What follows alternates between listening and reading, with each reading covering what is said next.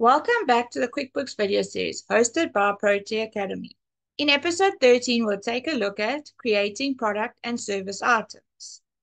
Product and service items are used on sales invoices. These are basically your products or your services that you sell to customers.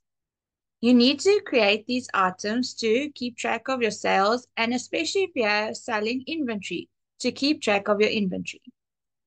To create a product and service item, you need to go to the gear icon and click under List Product and Services. You can also go to the Sales tab on the left and click on Product and Services. That will bring the screen up. Let's take a look at the few items on the screen. If you click on More, you can manage your categories like your design or your fountains, or you can run a report.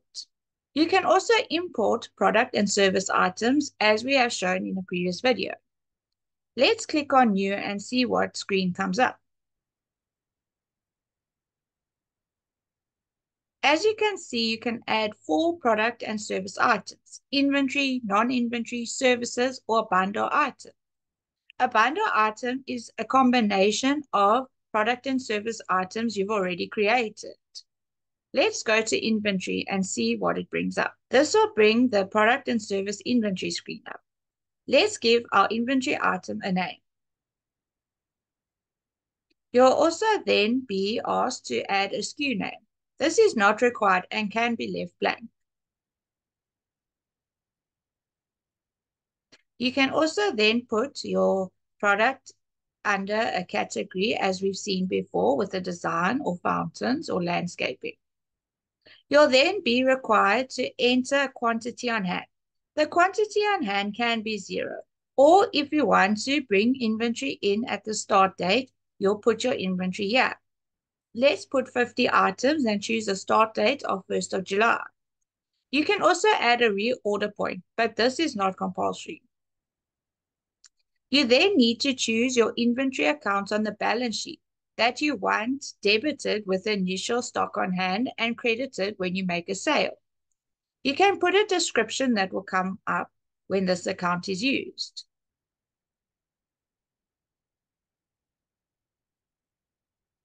You also then need to put a sales price that will be used every time the item is selected on an invoice, as well as choose the sales account. You can leave the sales price blank, especially if a sales price is not consistent. You can also then choose the cost of goods account that you need to use. This only shows up if you choose an inventory item.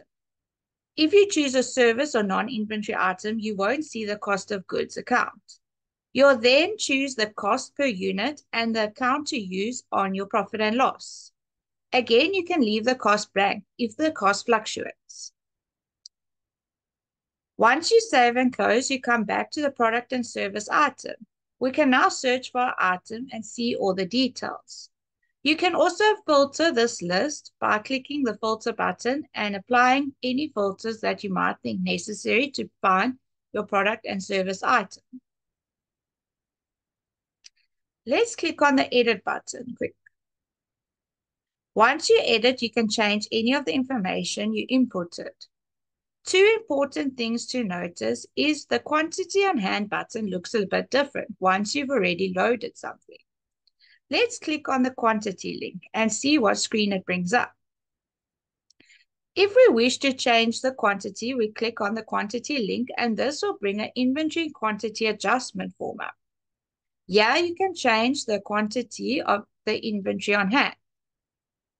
If we put the 1st of July, and we choose the account we want the inventory written off to or written up to. You then put the product in that you're looking at and you put the new quantity you want. So let's change the quantity to 45. As you'll see, the change in quantity goes to minus 5. We can also add a memo to our inventory quantity adjustment. Like if we say that five plants fell off the truck and therefore cannot be used, and that is why we're writing down the inventory. If we save and close, we now come back to our screen and we can see that our quantity has gone from 50 to 45. Let's go back to the edit tab. There's another link we can click and that's called starting value under the quantity of hand.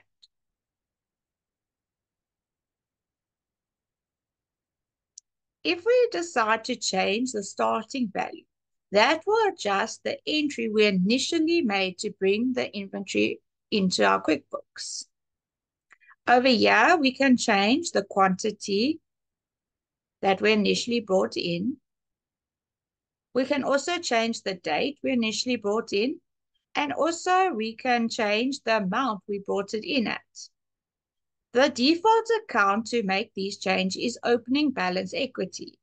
However, you might want to make that change in the same year. Therefore, choose the appropriate account. Here we can change the cost, and that will change the initial start value as well. Let's save and close and go take a look at what these changes did.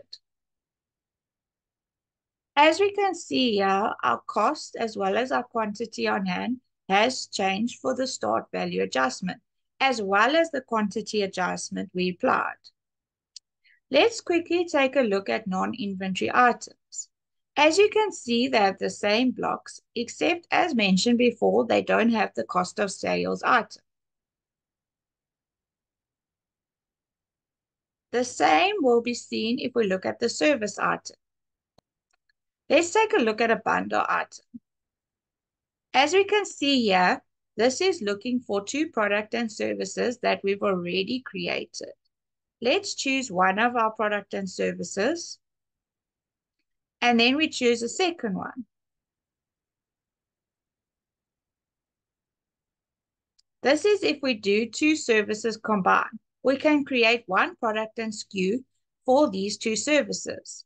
As you can see, there's also a quantity column and you can have one quantity or two quantity to one quantity.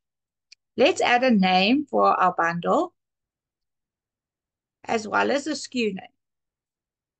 If you're happy with your bundle, you can save and close, and this will help you save time going forward when you're creating invoices. As you won't have to apply both product and services, you can just apply the bundle. Now we can see the bundle coming up on our front page.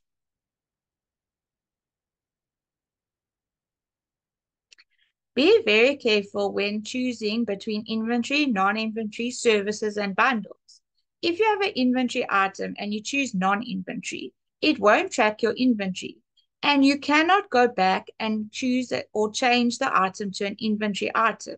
You'll be stuck with a non-inventory item and have to start again. On the main page, we have the print function, the export to Excel, and the gear function where you can change what you look at on the main page. Thank you for watching the QuickBooks video series, episode 13, hosted by Protea Academy. Watch out for episode 14, inventory adjustments.